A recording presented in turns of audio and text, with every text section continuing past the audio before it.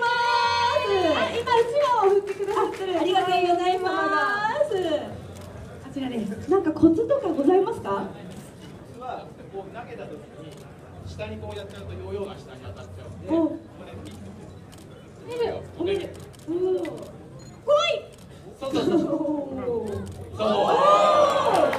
まいじゃないですかなかなか東大生一発でね、こちらのね、ヨーヨーはあの初心者でもプレイしていただけるようになっておりますので、ぜひね、あの、はい今初心者の方もちょっとヨーヨーにはまりかけているという方もそしてねプロの方ももちろんぜひゲットしていただきたいと思います。中村先生本当にありがとうございます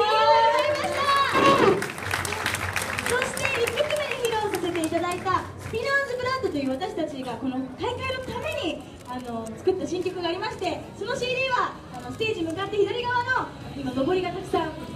出てる物販ブースで販売されてますので今かかってますね。ありがとうございます、えーこちらすごくいい曲なのでぜひ CD もお買い求めお求めいただけたらいいなと思っております。よろしくお願いします。よろしくお願いします。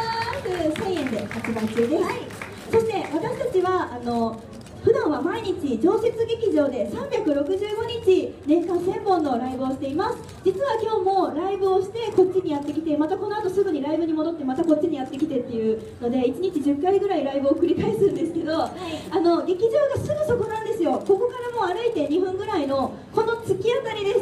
今もうここからも見えるんですけれどもあのパセラさんパセラリゾーツ秋葉マルチエンターテインメントさんのの7階で私たちパームスという劇場で毎日ライブをしています。この後はなんと今もやっているのが3時から無料ライブを行ってまして私たちもこの後すぐに出演させていただくのでよかったら劇場にも遊びに来てください。そしてこの後はまた17時30分から再びこの仮面女子のステージを行わせていただきますのでぜひ最後までお楽しみいただければと思います。そしてそしてそんな仮面女子はですね11月23日にワンマンライブを開催させていただきます。その会場が埼玉スーパーアリーナです。そうね初めて仮面女子を初めて見たよって方もいるかと思いますがきっと何かの縁です。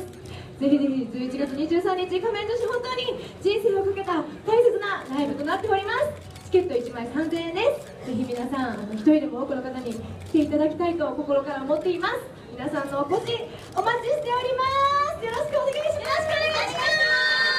す。そしてです。ね現在あのブースの横の方であの私たちの仮面女子候補生がチラシを配らせていただいておりましたかな終わったのかなあ終わっちゃいます。あ今から今からあ配ります。ので